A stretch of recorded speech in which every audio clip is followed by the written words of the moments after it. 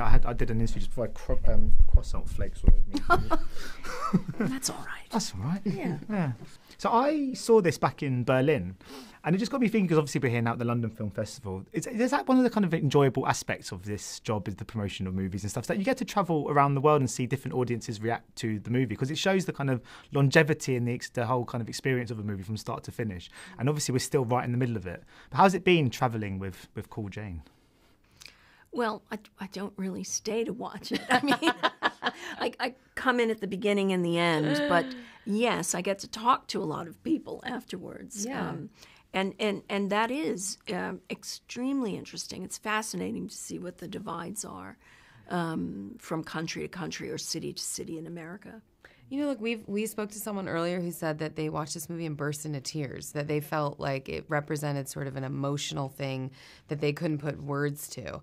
And if you do that once or mm-hmm. twice with a film, it's a you know it's why we make it, right? We want to affect the audience in some way. We didn't make it to like hang out in the closet and watch it on our own. We're trying to put something into the world, and I think that um, that kind, hearing that kind of feedback as an artist is just so wonderful. It means the work mattered to someone, and if you do that just for a few people, it's really meaningful.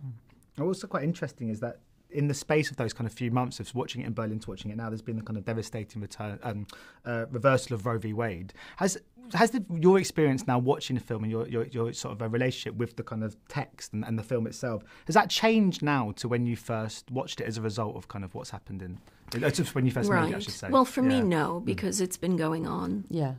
and uh, the attack on women's autonomy, it's constant.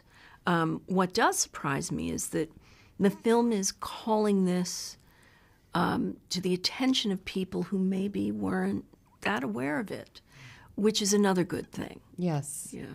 Yeah, I agree. You know, I think it's important to remember that um, w- women fighting for their right to full citizenship, you know, in the world, that's happening everywhere all the time.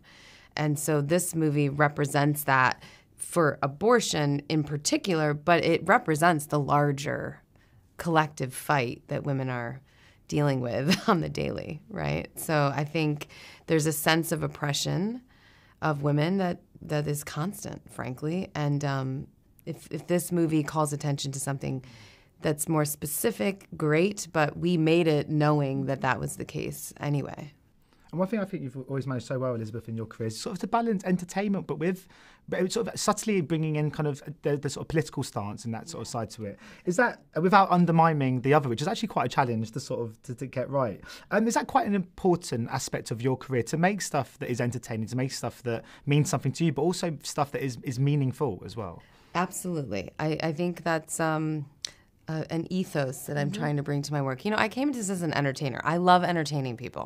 Uh, but I also think that humor, in particular, makes things stick in a way that. Um, that really stays with people, you know. If when people laugh or entertained or whatever, it- it's just a, it's a tickle that um, I think allows the information to go down a little easier. Um, and I think is real life. You know, I, I mean, I go to funerals and laugh. You know what I mean? It's not all tears. We have to have a balance in our lives, even when we're getting through something. We're, I, I find when I'm going through something hard, I'm so grateful to laugh. And to me, that's what Joy had and offered, and what Phyllis's tone was offering people with this film. Yeah, Phyllis, I was wondering too, because you've written for another director before, and then you've had a, someone else write now for you to direct. I was wondering, when you're sat in the cinema watching something, um, is there an equal sense of, of ownership of I did this, irrespective of whether it was written or, or directed?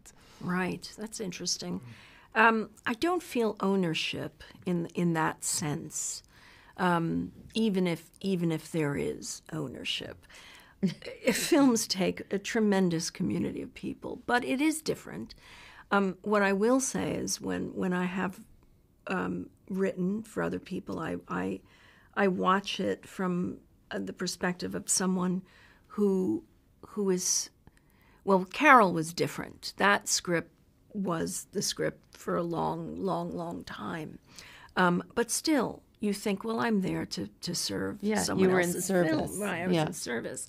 With this, um, and because of the circumstances of making it, I felt responsible to my actors first and foremost.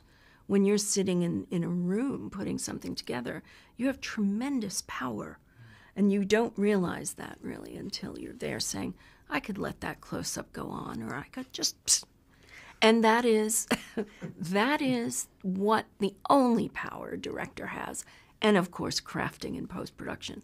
But really, I, oh, I felt a tremendous gratefulness and sense of obligation that coexist to the actors and to the producer, who, after all, you know, raised all the money Yeah. to, to make the movie. No, maybe ownership was the wrong word. Pride might be the better word.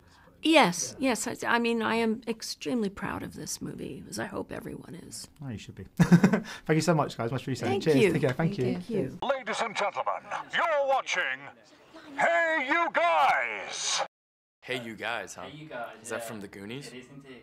Nice. Hey!